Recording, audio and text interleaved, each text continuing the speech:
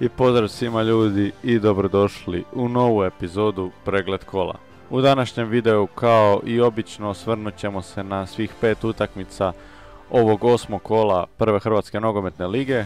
Budući da je prijelazni rok završio, nemamo više nešto previše vijesti, tako da neće biti vijesti na kraju za ovaj video, no ubacio sam igrača kola, tako da na kraju svakog videa moći ćete birati između dva najbolja po meni igrača kola, tako što ćete napisati komentar za koga glasate, ja ću na kraju to prebrojiti i igrač koji bude imao najviše glasova od ovih kojima sam ponudio na kraju videa biti će igrač kola i to ću proglasiti u idućoj epizodi. A prije početka samog videa, ako vam nije problem, ostavite like na video, tako pomažete da kanal raste, da se ovaj video dijeli drugima, također pretplatite se ako ste novi, ako još do sad niste i podijelite prijateljima koji vole HNL ili ovakav sadržaj, meni puno znači. Vi ovo gledate vjerojatno u utorak, nisam stigao izbaciti jučer, u ponedjeljak e, zbog škole, tako da vidjet ću kako ću izbacivati videe, potrudit ću se ih izbaciti, ali da znate da je škola počela pa da neću možda uvijek izbaciti odmah pregled kola, no vjerujem da vam ne smeta. A u četvrtak bi trebao otići na utakmicu Dinamo West Ham pa neće biti live no vjerojatno ću snimiti neki vlog ili nešto, ako sve bude išlo kako spada, očekuje vas i taj video. Neću ništa garantirati, ali evo čisto da znate da neće biti onda live reakcije, ali će biti za ostale utakmice.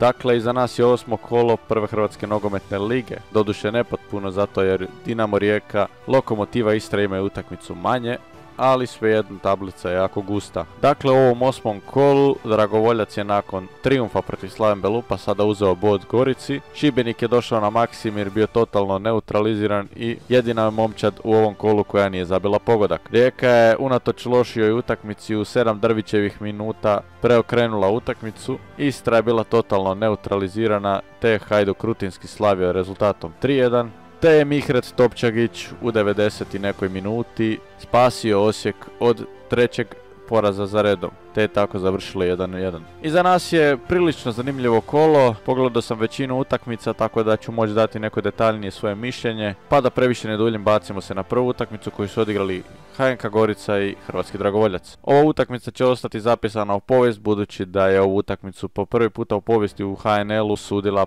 sutkinja i vrlo je dobro odradila svoj posao. Ono što ponovo mogu reći je po samoj statistici kada se gleda na kraju Hrvatski Dragovoljac nema toliko nešto napadački dobru statistiku, jednostavno njihova kvaliteta je trenutno čak ono ok, ali i dalje nisu dovoljno uigrani da bi parirali momčadima, ali jednostavno odlučuju se za takav defanziv, defanzivnu igru gdje igraju sa 5-4-1 formacijom gdje je za očekiva da će se povući igrati na kontranapade. To što naprave prema napred je dobro s obzirom da dosta golova zabijaju. Ali dobro idemo na mi na utakmicu. U prvom poluvremenu onako bila je ok, ništa prespecijalno. Tako da idem odmah na drugo u kojemu je gol poništen na asistenciju Vara Vlatku Stojanovskom te on nije postigao svoj prvi gol za Goricu. A u 63. Gorica je dobila kazneni udarac, ali Zvonimir Šubarić obranio je Kristijanu Lovriću. Zvonimir Šubarić inače jedan od ponajboljih e, igrača u momčadi Dragovoljca, te idu i njemu osobno naravno velike zasluge za ovaj bod što su uzeli. Ali iako e, su promašili 11 terac, već minutu poslije igrači Gorice postigli su i pogodak. Lovrić ovaj puta asistirao, Babec pospremio, te su domaćini vodili sa 1-0. Nakon što je gubio, Davor Mladina odlučio se za već tri izmjene, tako su ušli Turčin, Vuco i Pasariček. Da bi samo minutu nakon što je ušao Pasariček u 73. nakon školske akcije postane lopte na drugu stativu, Štrkalj ostao sam te pospremio za 1-1. Tako je ostalo na kraju, ništa više specijalno nije bilo. Gorica je imala posjed dominirala, nije bila nešto predominantno u smislu da je imala toliko mrtvih šansi, ali da su zaslužili pobjedu, pa vjerojatno jesu, ali opet s druge strane vrlo realan rezultat na kraju. Statistički 18 šuteva Gorice, 6 u okvir, 8 šuteva Dragovoljca, 2 u okvir, 37% posjed lopte imao je Hrvatski Dragovoljac, 63 Gorica. Idemo na drugu utakmicu, idemo na Maksimira, nećemo se tamo previše ni zadržavati zato jer je Dinamo slavio vrlo zasluženo protiv Šibenika rezultatom 2-0. Nova Dinamova desetka Bruno Petković, Bio je prvo ime ovog dvoboja, a upisao je i asistenciju. U prvom poluvremenu Šibenik kao da i nije došao na utakmicu i teško se moglo šta naći, jedino se izdvoja općenito na utakmici prilika Šibenika kada su lijepo povukli naprijed Suaca, Hit je dobio loptu, imao Delića lijevo i ne znam koga desno i odlučio je biti Škrtić sam izgubio loptu i to je bilo jedino od Šibenika što smo vidjeli. Konkretno u principu je igrao samo Dinamo, Dinamo i Dinamo.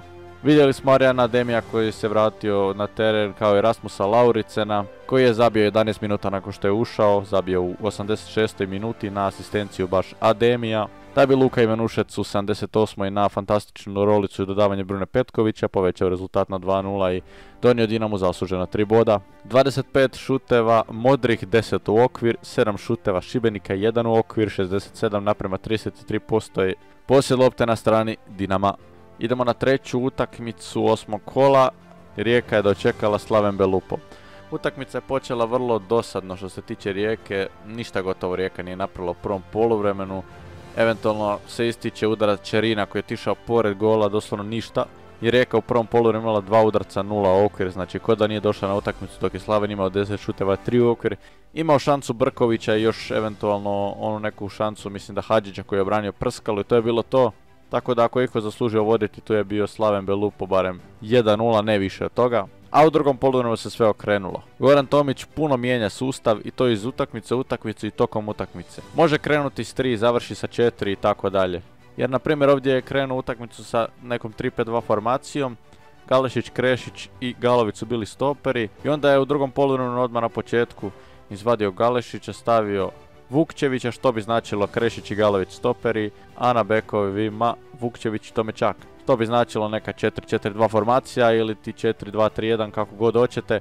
Sad se to stalno mijenja, ali Goran Tomić iz utakmice u utakmicu mijenja formaciju i svaki put kad ne ide jedna ide druga, to se pokazalo i u ovom dvoboju. Ali dalje Rijeka nije bila nešto previše bolja, iako je imalo naznaku da će ići na bolje. U 63. minuti Nedim Hadžić zabija na asistenciju Arijana Brkovića, te Koprivničani vode 1-0. Nakon tog gola više Slaven Belupo nestao sa terena, gosti kao da su se povukli i polako je mirišalo na neki pogodak rijeke.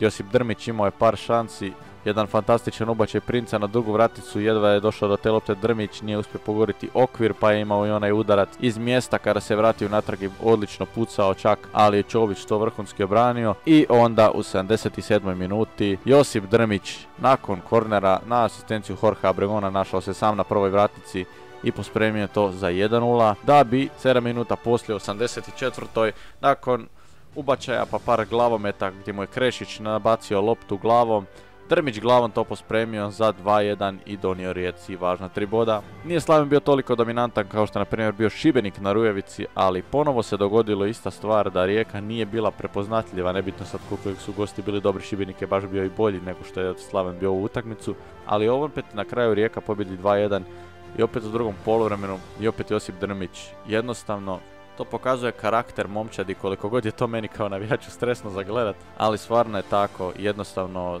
tih 7 minuta Josipa Drmića, ali općenito bolje igre u drugom poluvremenu je bilo dovoljno da na kraju rezultat izgleda vrlo dobro i bolje nego što je bila igra na terenu, pogotovo u prvo poluvreme, ali kažem bila je reprezentativna stanka pa je i to malo razumljivo. Statistički 16 šuteva Rijeke, 4 u okvir, 12 šuteva Slavena, 4 u okvir. Poslije lopte 59 naprema 41 na strani Rijeke. Idemo na četvrtu utakmicu, osmo kola. Istra je na svojoj Aldro dočekala Hajduk. Hajduk koji je bio u naletu 3-4 kola dok nije doživio poraz od Rijeke i jednostavno morao je ovdje slaviti protiv Puležana. Tako se i krenulo ovu utakmicu iako u prvom poluvremenu nijedna ni druga momčad nisu uputili udarac u okvir gola. Tako da ću preskočiti to prvo poluvreme zato jer je stvarno bilo dosadno. Dok u drugom poluvremenu se ogledali neki drugi nogomet, gledali smo Hajduk koji je bio konkretni, iako i u tom poluvremenu gdje nije bilo udaraca, u okvir gola Hajduk je više prijetio, bio pred golom, Istra gotovo i ništa nije napravila. Dok u drugom poluvremenu sve je redom krenulo. Nakon što je prvi puta pao sa hiti u kaznenom prostoru Marko Livaja realizirao 11 terac u lijevi gornji kut, pa nakon što je drugi puta pao Marko Livaja samo 6 minuta poslije je dobio još jedan 11 terac i pospremio ga u gornji desni kut, te da bi u 74. nakon solo prodora plasirao pored nemoćnog Lučića za 3-0 i postigao svoj prvi hetrik u profesionalnoj karijeri. Na koncu konca, kada je Hajduk krenuo, za golovima nije stao, dva nespretna penala što su napravili igrači Istre, Dosta su grubi bili, kao što sam to zaboravio reći, i za Slaven Belupo koji je igrao dosta grubo protiv Rijeke, tako je igrala i Istra protiv Hajduka, no na kraju to nije urodilo nekim plodom. No ipak nešto za Istru je napravio dio Andrena Beljo kada je postigao pogodak u 87. minuti nakon kraće provjere vara iako nema gold line tehnologije. Dosuđeno je da je lopta prešla liniju, što si ja mislim da je tako da je prešla, tako da je do, gol dodjeljen, dio Andrena Beljo postigao mislim drugi gol ove sezone u dresu Istre i sigurno dobra stvar za njega. Na kraju je završilo tako rezultatom 3-1 za goste, 12 šuteva Hajduka, 4 okvir, 5 šuteva Istre, 1 u okvir i taj jedan udarac u okvir i taj gol. 50 naprema 50 je bio posjed, tako da kažem nismo gledali ništa konkretnu utakmicu kad je Hajduk zabio 3 gola od sva 4 udarca u okvir, ali jednostavno Hajduk je bio dominantnija momčad na terenu dok Istra nije mogla gotovo pa i ništa. Idemo na zadnju utakmicu, Lokomotiva je dočekala Osijek, Osijek e, tražio pobjedu po mogućnosti budući da su dva kola zaredom upisali poraz, a bili su blizu da izgube i u ovom, u, ovom dvoboju treći put za redom, no ipak ih spasio Bjelićin, Adut, Mihret Topčagić u 93. minuti. Naime, ovdje Osijek bio puno bolja momčad na terenu, na kraju, no na poluvreme se otišlo eto 0-0, Nevistić imao par dobrih obrana, nakon greške obrane i Mjerez je pucao, Nevistić je branio, ništa konkretno, dvije, tri šanse, ono konkretne možda Osijeka u prvom poluvremenu, dok Lokomotiva nije uputila ni jedan jedini šut. Očito u ovom kolu momčadi voli ne imat šut ili ne imat šut u okvir, Lokomotiva nije imala ništa u prvom poluvremenu, dok je u drugom po šutevima kao i po statistici bila malo bolja. U 46. izašao je Aliju ušao Kulenović koji se naravno, ko što ja to uvijek volim reći, stvarno promatram, ali stvarno se čovjek trudi, daje sve od sebe, vraća se obranu, stvarno trči koliko god može i više nego što može, trči čovjek, trudi se. Donio im je tu dodatnu energiju, rekao bih, iako i Aliju je dosta brzi, puno trči, pa tako ni ne čudi da je na kraju došlo do pogodka za lokomotivu u 70. minuti Marko Dabro sa nekih poluškaricama zabija predivan pogodak Ivušić, to nije mogao obraniti, a obrana Osijeka to nije dobro zatvorila, te su domaćini poveli rezultatom 1-0. Samo 5 minuta poslije Fiolić dobija drugi žuti karton, tako da bivši igrač lokomotive ostavlja svoj momčac igrače manje u rezultatskom zaostatku. Ali kažem već na kraju, Mihre Topčagić 93. minuta, u zadnjim sekundama utakmice, mala nepažnja obrana lokomotive i on, i on postiže pogodak za rezultat 1-1. Tako da na kraju ne mogu ni jedna ni druga momčad biti nezadovoljni. Sigurno je Osijek zaslužio barem bod, možda malo više tu pobjedu, ali kažem na kraju nije nezaslužen remi na ovoj utakmici. Što se tiče tablice, kao što sam rekao, uz Dinamo Rijeku, Lokomotivu Istru što imaju utakmicu manje, Dinamo, Hajduk, Rijeka su prvi sa po 16 bodova, Osijek je četvrti sa 14, Gorica peta 13, Lokomotiva šesta 11 i onda slijedi ova malo odvojenija. Zadnja četvorka Šibenik, Istra, Slaven, Dragovoljac 7, 6, 5 odnosno 4 boda. A što se tiče najboljih strelaca, tu su Drmica 7, Livaja sa 6, Jakoliš, Lovrić, Dabro, Bande sa 4, Majer, Aliju, Delić i Mlakar sa po tri pogotka. I ostalo slijede igrači koji nisu stali u top 10, tako da njih ćemo preskočiti.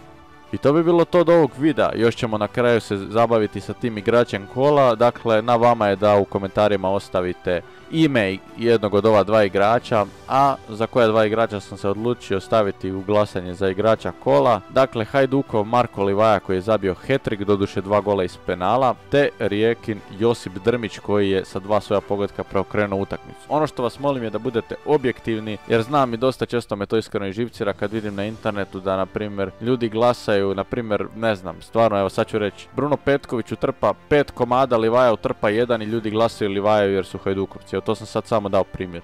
Nemojte, budite objektivni stvarno, eto čisto, ovo je neki dodatak u ovaj serijal da malo dodam nešto novo i tako dalje. Tako da budite objektivni, budite realni. Livaja je zabio tri gola, Drmić je zabio dva gola. Livaja je zabio dva gola iz penala i jednu majstorsku kontru odradio. Drmić je sa dva sva pogotka riješio utakmicu dok jednostavno Hajduk bio bolji od Istre svakako, a eto Rijeci je puno značila, su, su puno značila ta dva pogotka Drmića, tako da je on utjecao direktno na rezultat i donio sam Rijeci, ako to tako mogu reći, tri boda. Tako da budite objektivni, kažem, na vama je na kraju da odlučite ko je po vama bio bolji, ko je po vama zaslužuje biti igrač kola, ali vas kažem, molim, budite objektivni i to je to. Vama hvala što ste pogledali ovaj video, ja se nadam da vam se svidio. Ako je, kažem još jednom, ostavite taj like, vama jedan klik meni puno znači. Pretplatite se, ako niste, podijelite malo kanal s prijateljima, meni puno znači. Vidimo se u nekom novom videu, vjerojatno će biti to vlog s utakmice Dinamo West Ham ili tako dalje, već vidjet ćemo. A do tada ljudi, uživajte mi i lijep pozdrav.